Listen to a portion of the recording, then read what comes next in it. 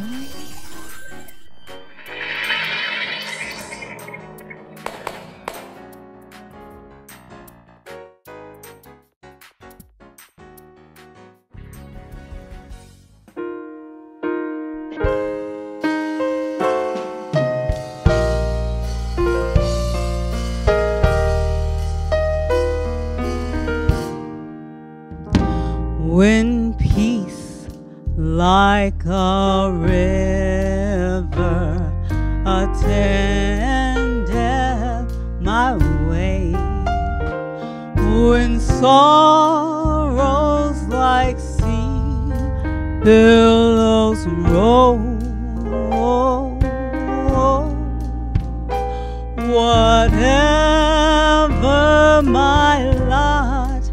Thou hast taught me to say, It is well, it is well with my soul. Though Satan may buffet, though trials shall come, let this blessed assurance control. Oh, that Christ has regarded my helpless estate and has shed his own blood for my soul. It is well with my soul.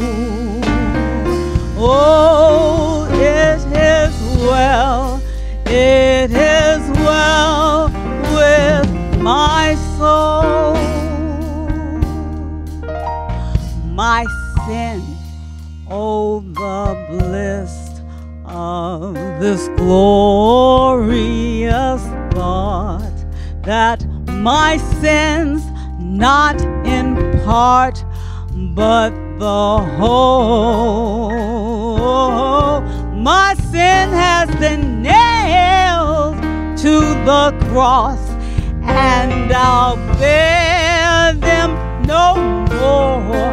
Praise the Lord, praise the Lord, oh my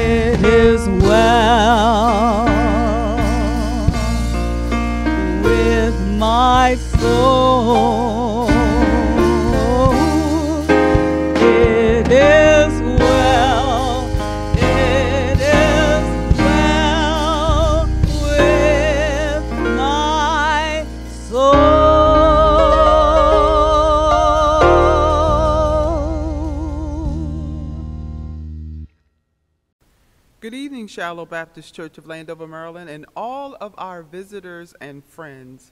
We welcome you to our midweek services and to let you know that there is a word from the Lord. First, giving honor to my Lord and Savior Jesus Christ, who is the head of my life, I'd like to thank Pastor Reverend B. Lewis Collington for this opportunity and to honor my mentor, Reverend Stephanie Stansel. If you would please turn in your Bibles to the Gospel of John, chapter 21. I'll start reading from the 18th verse and end with the 22nd verse, and that will be from the New International Version. But first, we will have a word of prayer. Let us pray. Father in heaven, thank you first of all for the first blessing of the day that you woke us up early this morning and you started us on our way and you got us to midweek services once again. I ask, oh God, that I will decrease as you increase, and that you will use me in a mighty way to bring forth a word to the people. So, God, just be with us tonight. Be with everyone tonight. And let us have attentive ears. I pray this prayer in Jesus' name. Amen. Again, that is the Gospel of John, chapter 21, starting with the 18th verse from the New International Version, where you will find these words. Very truly, I tell you, when you were younger, you dressed yourself and went where you wanted. But when you are old, you will stretch out your hands, and someone else will dress you and lead you where you do not want to go. Jesus says this is to indicate the kind of death by which Peter would glorify God. Then he said to him, Follow me. Peter turned and saw that the disciple whom Jesus loved was following them. This was the one who had leaned back against Jesus at the supper and had said, Lord, who is going to betray you? When Peter saw him, he asked, Lord, what about him? Jesus answered, If I want him to remain alive until I return, what is that to you? You must follow me. Thus ends the reading of God's word. Upon acquiring about John and how he might die, the Lord once again takes his servant to the woodshed. Peter has an age old disease, which we call the foot in the mouth disease, and he is forever sticking his foot in his mouth. Jesus tells him very clearly Peter, the best thing that you can do is to stay in your lane. The next time you get a whiff of a rumor and go on a witch hunt against a fellow believer, that is hanging on by a thread, the best thing that you could ever do is to stay in your lane. The next time you begin to get that itch to tell others how they should serve God and live for God, you need to retreat and stay in your lane. The church of today is full with claim jumpers that are dead set on jumping into the business of others. For a few moments, I want to talk about stay in your lane, and focus on Jesus. And my three points are point one, the binding call, follow me. Point two, the biting charge, focus on me. And point three, the billowing critic, find me. Unless you're prepared to deal with the aftermath, never invite yourself to a situation where your presence is not requested or welcome. Don't pull out a chair at someone else's table, then turn around and be hurt when you feel unwelcome. And that was written by author Terry A. O'Neill. As a general rule, the phrase staying in your lane often applies to one's driving and trying to remain safe in the midst of some rather unusual stunts by our fellow drivers. The Urban Dictionary defines it as mind your own business, keep moving forward in your own life, and don't veer over into another per- person's personal affairs. Don't be nosy or insert yourself in someone else's life, business, or relationships. I firmly believe that if each of us would practice more self awareness and self reflection, when it comes to our interpersonal relationships, we've had less, we would have less swerving out of our lanes and having emotional fender benders because we aren't paying attention or taking responsibility for our behavior. I have found that while I'm driving and every time I begin to look around, that my vehicle has a tendency to veer in the direction that I'm looking. There is a grave danger in taking my eyes off of my lane because when I take my eyes off of my lane, I'm subject to getting into a fender bender or just crashing. The church is full of rubberneckers that are too busy focusing on the attendance of others, the actions of others, and the absence of others than focusing upon Jesus Christ. How many are falling in their failing in their calling because they're too busy monitoring someone else? Let's keep it real and take a close look at staying in our lanes. Point one the binding call, follow me. The Lord has just dealt with Peter in his three denials. Hopefully, the meekness of Peter would usher him into useful service.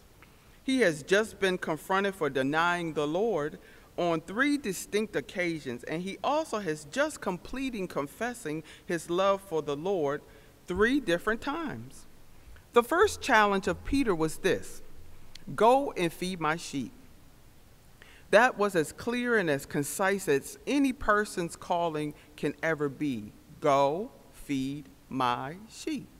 The Lord is not necessarily done with reinforcing the duties of his disciple and allowing him to see the dangers that he must face. John 21, 18 of our scripture today says, Very truly I tell you, when you were younger and you dressed yourself and went where you wanted, but when you are old, you will stretch out your hands and someone else will dress you and lead you where you do not want to go. Let us not overlook the reason why we are here. The mighty Peter boldly proclaimed that he would die for the Lord. The mighty disciple was ready to die for Christ, yet as he watched them lead him off to be tried and eventually crucified, all Peter could do was tremble as a traitor. Then he despairingly denied the Lord three times. Jesus has just hunted Peter down like a runaway child, and upon finding him, he confronts him, and repentance is forthcoming, and forgiveness was extended. The first decision of Peter was to go and feed the flock of God. That would not be an overwhelming task. He had walked with the Lord for three years and he knew all of the doctrines and the dogma of Christ's teachings. The Lord wanted Peter to see a bit further down the road, and he informs him that this is not going to be a bed of roses. Peter is going to have to walk down a harsh path as he serves the Lord. In the past, he nobly proclaimed that he would die for the Lord. In the distant future, he was going to have that opportunity and he would die for his Lord. It is a holy thing to read of the lives of the apostles and see how each and every one of them died a martyr's death to the Lord. The Lord is telling Peter, listen, friend, things are going to get tough and your path is going to be harsh. I'm letting you know now so that later on you don't think I misled you. I wonder how many of us would have stuck it out if that had been our job description. I'm thankful for your service, but in a little over 30 years, the enemy will hate you so much that you will hang upside down on a cross. Peter, I'm just giving you a heads up that the first day you preach, there will be over 3,000 people to become believers. Later on, they will throw you in jail for preaching my word, and then they will beat you, and many of those that are close to you, they will also die. We bail out on God over the most foolish things one could ever imagine. If it rains, the whole family stays home. If mama is sick, it takes every person in the family to hold her coffee mug and to blow her nose. If the baby is sick, it would be foolish for everyone but the mom to go on to church. If the preacher preaches on money, we will sulk and cry, then run out and buy a new boat or a set of golf clubs that cost more than most give to the church for an entire year. It is easy to quit. It is even easier to gripe, to complain, and to bellyache. I have never catered to the seekers because I have a better record at carrying the gospel to sinners. The seekers never burped and pampered. How sad. If God told every new Christian that his or her path might be harsh, most would run back to the world and would prefer to die and go to hell. It is high time that we got a good dose of reality and a good dose of true old time religion. We live in an age of fast food, easy living, and the less the pain, the better the gain. It would be wise for us to have less complaining and more commitment. It would be wise for us to have less excuses and more endurance. It would be wise for us to have less watching and more working. It would be wise for us to have less grumbling and more giving. It would be wise for us to have less advice and more action. When was the last time you pushed through a problem to serve the Lord? When was the last time you gave up something to God, uh, to give something to God? When was the last time you said no to the world and yes to God? When was the last time you put yourself last and God first? How deep is your love for God? How deep is your love for His church? In the 19th verse of the uh, chapter 21 of John, Jesus said, This is to indicate the kind of death by which Peter would glorify God. Then he said to him, Follow me. The Lord made sure that Peter knew that he had a harsh path in front of him and that there would be a heavy price to pay. I am afraid that we have a low tolerance of pain when it comes to paying the price for God. Why is it that we can sit in the cold of winter to watch a sporting event, yet we can't come to church if it's raining? How is it that we can sit through a hailstorm to watch little Johnny play ball and little Sally dance, yet we can we can't pay the price for serving God in his church when we are needed. I'm amazed at the silliness and the pettiness of the modern day Christian when it comes to being committed to God. All I know is how to do is to preach the book, and the book tells me that a steward must be found faithful. The book tells me to pick up my cross and to follow the Lord. I did not write the book. My duty and passion is to preach the book. The issue with this age is that we want the best of both worlds. We want the best that God has to offer us, yet we will not pick up the cross because we will not pay the price. We want the pleasures of the world, but we are not willing to endure the pains of serving God.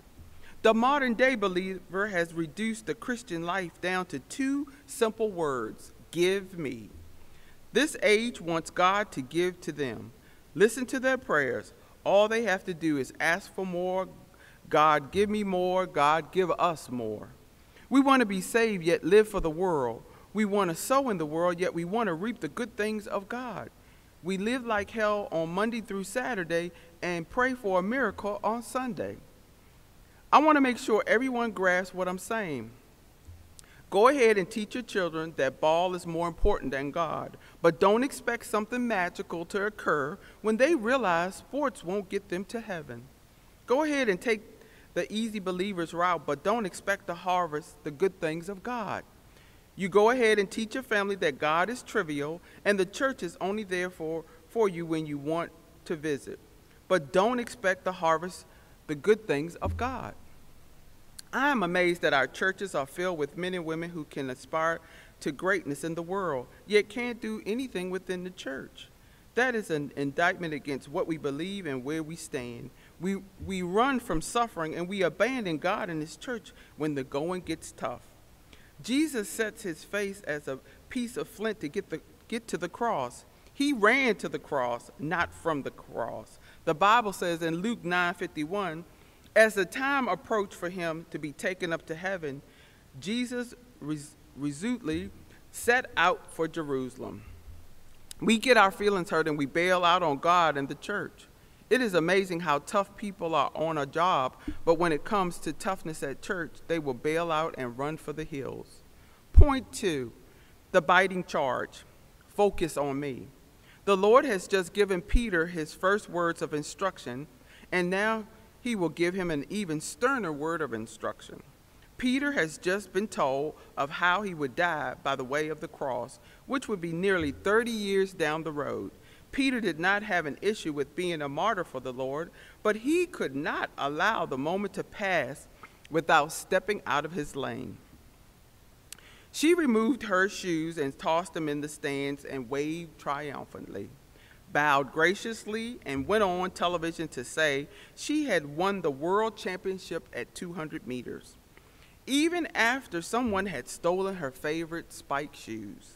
Then Gwen Torrence found out that her gold medal was gone too.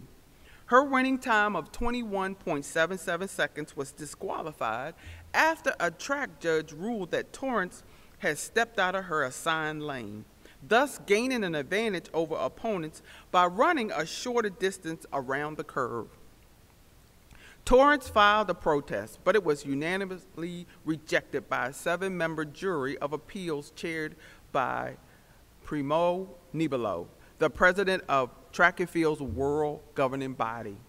Television replays show Torrence stepping on the inside boundary of lane six, her assigned lane, at least three times in the curve, and once stepping over the line into lane five. The rules state that a 200 meter runner must stay in the lane the entire race to ensure that every competitor runs the same distance. The gold medal was awarded to Merlene Ottey of Jamaica, the silver to Irina Privalova of Russia, and the bronze to Galina Malchugina, also of Russia. Into a headwind, Torres ran the fastest 200 meter the the, in the world that year. After winning the 100 meters early in the week, she appeared to become the first double winner at the 1995 World Championships. The victories would have firmly established her as the sport's dominant female sprinter with the Olympic Games approaching the following summer in Atlanta, her hometown. But 15 minutes after the race, the 30 year old found herself disqualified without the 43,000 Mercedes-Benz as first prize, and perhaps without tens of thousands of dollars in endorsement money that would have come her way as world champion at both the 100 and 200 meters. Torres said calmly, I know I had a clear victory before her protest was rejected. I can't worry about it. I will just have to beat them at the Olympic Games. She cheated the 35 year old Ottey said of Torrence. She ran about two meters shorter than everybody else. The other Russian um, sprinter said, It's a rule for everybody. Nobody can run out of their lane. If it, it is not a rule, everybody can do the same thing. It seems that Jesus and Peter had just begun to walk after they had eaten the fish, and at that time, Jesus confronted him concerning concerning his three denials. As things were coming to a conclusion, Jesus informs Peter about his coming death by crucifixion. There may have been some unhealthy competition between Peter, the leader of the twelve, and John, the teacher's pet. Peter looks around and sees John coming up from the rear, and once again his mouth overloads the wagon. He immediately inquires as to how John would die. The moment he asked this question, he stepped out of his lane. One of the keys to, to running, and even more so running on the track, is to focus only what lies before you. The track runner must focus on his lane and not worry about what is behind him or who is behind him. Some of you cannot enjoy God or the church because you're too busy looking at other people. There is nothing more inviting than a peacock Christian that is always sticking their nose in everyone else's business. If you were nearly as spiritual as you thought you were, you would pray for them, not run them down or talk about them. There are people in our local churches that keep up with the attendance of everyone. They monitor the attention, attendance of others, the giving of others, the dress of others, and the conversation of others. These people are much like Peter. They are too busy worrying about everyone else and God is about to verbally chastise his servant. If you were nearly as great as you think you are, you would buy a good dose of humility. We are reminded in Matthew 7 1, do not judge, or you too will be judged. And in Matthew 7 2, for in the same way you judge others, you will be judged, and with the measure you use it, it will be measured to you. The Bible clearly tells us to stay in our lane. If we stay in our lane, we will worry we will worry about the plank in our eye rather than the speck in the eye of our brother or sister. Matthew 7 5 says, You hypocrite, first take the plank out of your own eye, and then you will see clearly to remove the speck from your brother's eye. I am puzzled at the nerve of some that are so quick to judge and to pounce upon others within the church. If you are focusing upon the ups and downs of others in the church, you are not focusing on the Lord. Those of you that are so holy and so perfect should be praying for others, pulling for others, and being a beam of support for others. There is nothing worse than seeing someone within the church backbiting and devouring another believer. If we are so spiritual, we would not be eaten up with jealousy, envy, or bitterness. Jesus said in John 21 22, If I want him to remain alive until I return, what is that to you? You must follow me. Jesus mixes no words in putting Peter in his place, as he informs him that it is nothing to him concerning the death of John. Basically, Jesus is telling Peter to be quiet, follow me, and focus on me. And my last point the billowing critic, find me. We need to follow Christ, focus on Christ, and truly find Christ. The church critic needs to find the Lord, and upon finding him, start following him, and then focus upon him. The greatest thing that you can do in serving the Lord is to find your lane and run in your lane, and then stay in your lane. This does not, not mean we are not concerned for others, but we are not appointed as their judge. The Lord did not make you to be the judge, He is the judge, and He will judge. My dear brothers and sisters, you are to stay in your lane. We do not have time to focus on everyone else. It takes all that we have to keep ourselves within our own lanes. We need to seek after the Lord, find His will for our lives, and then just do it. Lastly, I want to say a quote from a preacher in Dallas, and he simply put it like this We must learn to accept the calling God has given us, get a clear understanding of what God has called you to do, stay in your lane, and find value in your part in God's ultimate plan. And that quote was from T.D. Jakes. May God bless all of you, and may you stay in your lane and focus on Jesus. Let us pray. I pray, my brothers and sisters, that something that you have heard tonight will have pricked your hearts or will have stirred your hearts. And if you do not know the Lord Jesus as your Lord and Savior, that you will want to follow him, that you will want to focus on him, and that you will want to learn more about him and allow Him to save your soul. So, God, I ask that if there's anyone out there who does not know the Lord Jesus as their Lord and Savior, that they will want to join a church and that they will want to get to know you more and more and more for themselves through your word. I also pray, oh God, for those who have may have fallen away and not following your word. I pray, oh God, that you will prick their hearts and give them a word in their ear, and that they will come on back to you, O God, and continue to study your word. I pray, O God, that you will just bless everyone under the sound of my voice tonight, and that they may have gotten one small nugget tonight that they may be able to carry with them throughout the rest of this week. I pray this prayer in Jesus' name. Amen. God bless you all. Thank you for joining us for our midweek service. We pray the message you just heard will bless you in a mighty way. Please share our Shiloh Baptist Church YouTube channel link with all of your family and friends so they can be blessed as well. Now, you have the opportunity to bring your tithes and offerings to the storehouse as God has asked faithful believers to do. Just go to shilohbc.org forward slash give or send a text to the number on the screen or you can mail your offering into the church or stop by the church to drop it off. Just remember, God loves a cheerful giver. Join us each Sunday at Shiloh for Sunday school at 9 a.m. and Sunday worship service at 10 a.m. We would love for you to join us in person. If that is not an option for you, you can participate virtually as well. Then join us virtually each Wednesday for midweek service and Wednesday night Bible study. Here at Shiloh, we are a Bible preaching, Bible teaching church with a focus on saving souls. Remember that Matthew chapter 28 verse 19 tells us, "Go ye therefore and teach all nations, baptizing them in the name of the Father, and of the Son, and of the Holy Ghost. Until we meet again, always be blessed.